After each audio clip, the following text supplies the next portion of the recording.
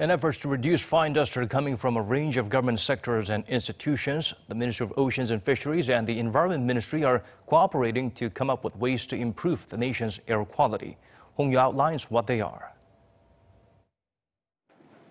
Harbors are one of the major locations in Korea that cause large amounts of fine dust. In 2015, more than 32,000 tons of fine dust were produced by cargo ships, 10% of the country's total annual fine dust emissions.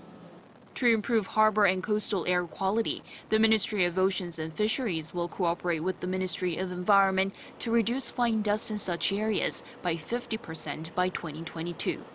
On Tuesday, the two ministries signed an MOU to establish and secure related business plans, improve and promote laws and systems, and share information.